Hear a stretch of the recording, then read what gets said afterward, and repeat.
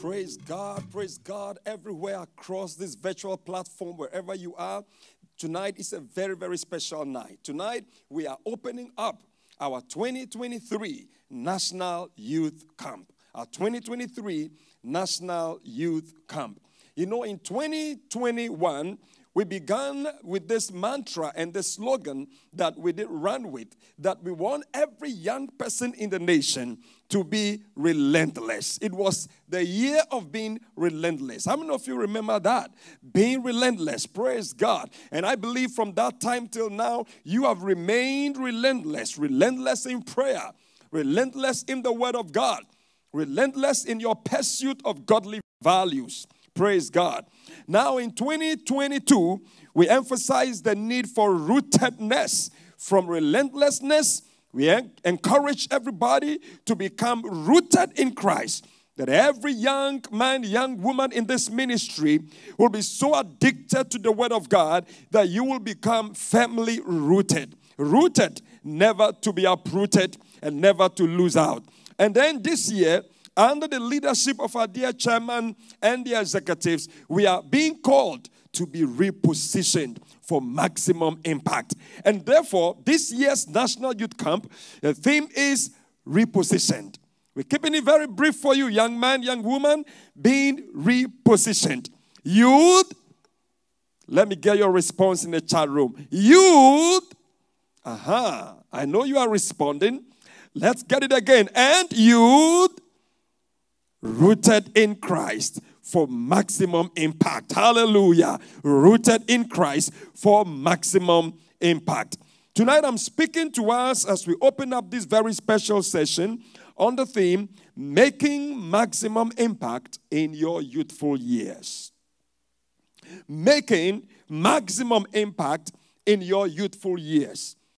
Beloved young man, young woman gathered here tonight from across the nation, what if I told you that there is a place in God where you can be so positioned such that you can never fall? That there is a place in God, that there is a place you will get to in following God, that you will so get hold and hooked up to the Lord and you'll be following certain practices that scriptures has laid before us and because of your commitment to follow the Lord God says, You will never fall. Tonight, that is my emphasis. Being repositioned to find yourself and to do the things that will make you so strong in the Lord that you will never fall. It is exciting to know that there is such a place in the Lord where you can follow Him so well and where He can guard your life and help you so that you can be confident of a bright future. In fact, tonight I'm sharing from my heart to all of us. And I want to trust God that every young person in this nation will be equipped even more, will be strengthened even more, that you will be able to realign your values to so walk with God. You will make your own resolution tonight, and Daniel will be our character study. But like Daniel, we shall position ourselves and we shall build convictions that will enable us to take a stand in the storms of life and in a hostile culture such that we will never fall. Can I hear somebody shout, I will never fall? Praise God, I will never fall. From California to Chicago, we will never fall. Across the various regions, we will never fall. The future is bright for you, and God has a plan for our lives and for His church. We will never fall because the grace of God is sufficient for us. If you do these things that I'm going to talk to you about tonight, in the book of Second Peter, in fact, Peter wrote that epistle and he said, If you do these things, you will neither be fruitful, fruitless, or ineffective. And he says, You will never fall. We shall be reading very shortly. As I share my last message with you at the national level in my service to you as your youth director, I want to seize this moment to appreciate our dear national head, Apostle Michael Agyeman-Amoako, for his great support for this ministry over the season. I'd like to express my love and gratitude to all of our executives, past and present, and all the youth and Pensa leaders across this nation, from the local level all the way to the national level. God has blessed us with a very huge organization that is operating under the auspices of our dear pastors and our dear regional heads across the, the walls and across the boundaries of this nation. We are very thankful. I'm very thankful. I am humbled that I was blessed with a whole array of amazing young men and young women who worked themselves out to make this ministry a very, very successful and a very impactful one. I want us to just shout it out to all the local leaders, all the district leaders, all the regional youth pastors, the executives. I want you to push something, some fire sign, some thumbs up in the chat room, and let's celebrate all of them for the amazing work you've all done over the years. Some of you have stuck with this ministry. You did not relent. You were rooted. When we held Pensa conferences, you were there. When we held national youth camps, you were there. When we held uh, all of these various programs, our podcasts, our Nipson team, our social media team, all of you in the PPN uh, uh, wing of the ministry, it's been such an amazing, amazing, amazing team. We thank the living God who's prospered the work in our hands because of your labor. Hallelujah. God is good. The bright, the future is bright for all of us. Hallelujah. i like you to stand strong. Tonight, I'm just going to pour out and speak over your lives and give you a few nuggets that will enable you never to lose out or give up, but to press forward and hold on to your faith, to shine in this generation. That the Almighty God will find you a vessel of honor and will use you to bring revival in that local church, will use you to impact that campus, will use you to change that community. I believe that God is raising fiery young men and women filled with fire who will stand out in this generation and who will fulfill purpose. And I'm here to challenge you tonight. I pray that something will be birthed up in you, something, something will be stirred up in your spirit, and you will make a resolution never to be wasted. You are too needed to be wasted, young man. You are too needed to be frustrated. And God has a plan for your life. Hallelujah. Making maximum impact, not in your old aging years, but in your youthful years. And yes, you can do it. Let's read Second Peter chapter 1, verse 5 to 11. Second Peter chapter 1, verse 5 to 11. I'm reading from the New American Standard Version. It says, Now, for this very reason also, applying all diligence in your faith, supply moral excellence, and in your moral excellence, knowledge, and in your knowledge, self control, and in your self control, perseverance, and in your perseverance, godliness and in your godliness, brotherly kindness, and in your brotherly kindness, love. It says in verse 8 For if you, if these qualities are yours and are increasing, they render you neither useless nor fruitful in the true knowledge of our Lord Jesus Christ. You see, Peter lists a whole set of qualities, virtues, and these character traits and he's telling us in this passage that if these virtues abound in you, he's saying that he will, they will make you to be neither useless nor unfruitful in the true knowledge of our Lord Jesus Christ. That is to say that if you grow your faith along the line of these virtues, after faith, he says moral excellence. Virtue is a reference to moral excellence. If you add these virtues to your life, moral excellence, and to your moral excellence, adding knowledge, and to your knowledge, self control, and self control, perseverance, not giving up, pressing in, holding on, never quitting, never losing up, never saying it's done, it's over with me, but holding on. It says adding godliness, and in your godliness, brotherly kindness, loving one another, being Christ like in your speech, character, and conduct. Beloved, if these virtues abound in you, This is the secret. It says, if you do this, you will never fall. I want to leave that message with you. But I'm going to come back and then talk about these virtues in a bit. First of all, I want to be able to draw attention to the life of Daniel. And then we'll come back and finish with Second Peter. But before then, I'd like to remind all of us that one of the engines of our 10 point vision as a ministry that I consider very, very important, or probably the most important in this season, is the call for you to be grounded, for the call for us to be discipled. The call for us to develop staying power in the kingdom of God, in the family of God, developing the virtues and the qualities that will give you staying power. Somebody say, staying power.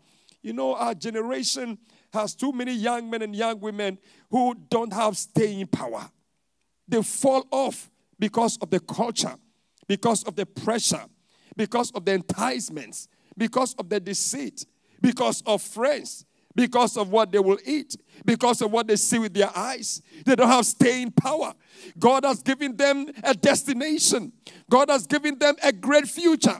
God has given them all the resources that they need to be able to have a great future in the Lord. But the staying power to hold on when the storms come, the staying power. Tonight, I pray that every young man and young woman would develop resilience, staying power like Daniel that you will look at the storms and look at the culture.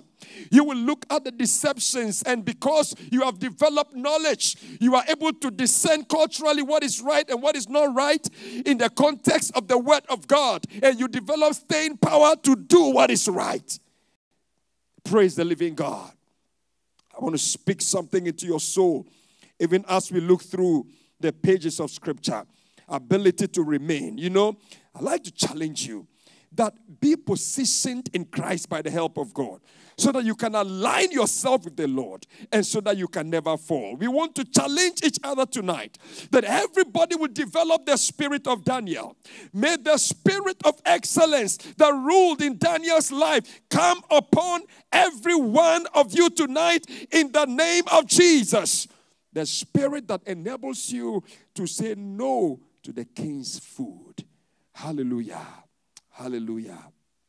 You see, when we look at the Bible, it is a book that is filled with young men and young women who distinguished themselves by fulfilling God's purposes for their lives. Young men and young women in scriptures who distinguished themselves. You see, if you remove people like Moses, Abraham, there won't be a good record when it comes to the book of Genesis. God always will pick men in specific generations in order to keep that generation relevant. It is the presence of men and women who vowed to align themselves with God. Their presence brought relevance to their generation. It was Daniel in Babylon whose presence, along with Shadrach, Meshach, and Abednego, their presence gave value to all that God was doing in the whole generation. Men and women who distinguished themselves and they said, We want to make maximum impact.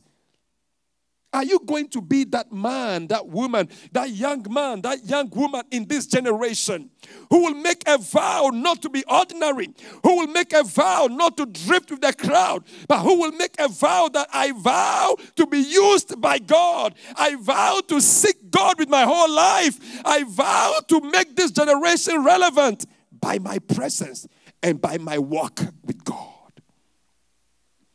I want to challenge you. See, the presence of certain people would always bring credibility to a generation. What are you bringing to this generation?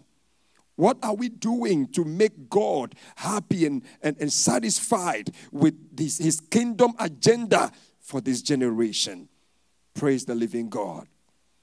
When you read the book of Malachi and you fast forward and go to the book of Matthew, you will see that those 400 years, all through those 400 years, Bible says there was silence because God hadn't found a man until the Bible says in the book in the book of Matthew a man showed up called John And when people came around, they said, Are you, are you the one? He said, I am John. I am the voice of one crying in the wilderness, preparing the way of the Lord. So God was waiting for John all along until John showed up. I pray that you will show up. Where there is corruption and where people are giving up in their faith and where your fellow colleagues and your all your young ones around you are giving up and just following the crowd and wasting their lives you will show up among them as an addict of god. Somebody who has decided to choose a different path. May you show up. May this season bring about the manifestation of sons of God in every single region in this nation. That in California, there will be the manifestation of the sons of God. May it be you. Hallelujah that in New England there will be young men and young women who will say, This is our season. We are manifesting as sons and daughters of God. That over there in Chicago and all the way in Washington and Maryland and in New Jersey, young men and young women will arise and you will say, It is my season to manifest as a child of God. When Daniel manifested in the land of Babylon, with the spirit of excellence ruling in his life, everybody knew that this was a different man on a mission, fulfilling purpose. Beloved, don't let life pass you by. Rise up and hold on to your destiny in God and say, I am manifesting because the whole earth is groaning, waiting for the manifestation of the sons of God. People who will carry the presence of God and who will make a difference, who will be a salt and who will be a light. May it be you. I said, may it be you. In Carolina, may it be you. In Atlanta, may it be you. When God says, I am looking for a man, I am looking for a man who will stand in the gap, that you will show up and you will say, I am that man. I want to be that man. He's looking for you. He's looking for you. He's looking for you.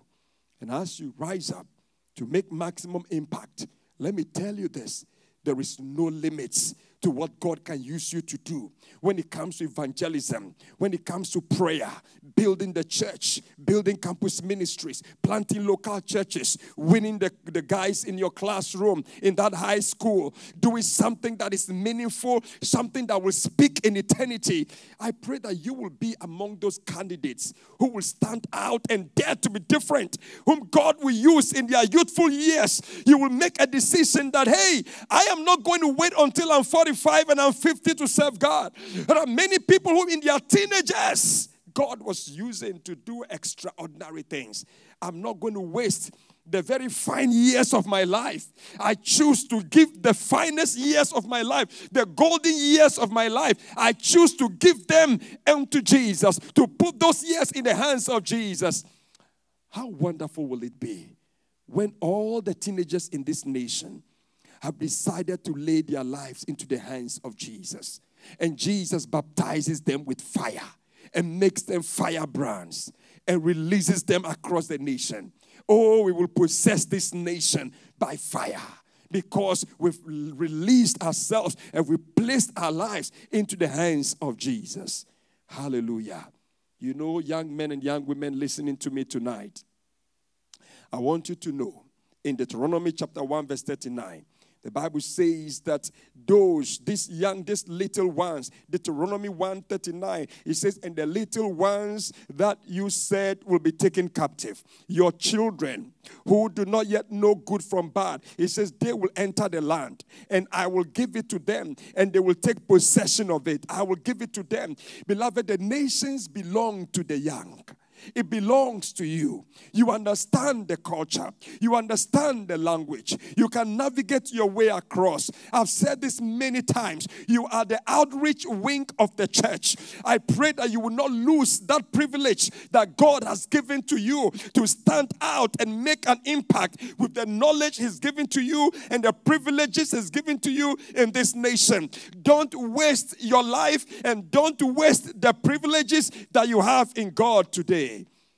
Know, Jonathan Edwards was a central figure in the early Great Awakenings. He graduated from Yale in 1720 at the age of 17. And then he pastored his first church when he was 18. Jonathan Edwards, who preached the message, Sinners in the Hands of an Angry God, that brought heavy revival across the land, right from Massachusetts. All right? These were people who walked this earth like you and like me. At the age of 17 and 18, they were already stirring the waters. They were already shaking the whole communities and shaking the nation. Beloved, it's not too early to be able to stand on your feet and pray for two hours.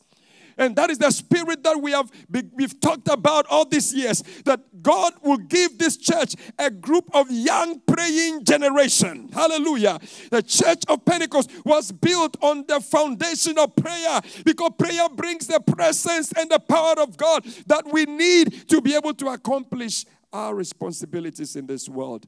I pray that that spirit of prayer that is sweeping across the younger generation, that spirit will catch up with you that you no longer go to church and stand and you are chewing gums in your hands and your pocket and you're just looking somewhere when others are praying. May the spirit of prayer fall upon all of us. Hallelujah. That we will stand out as young men and young women.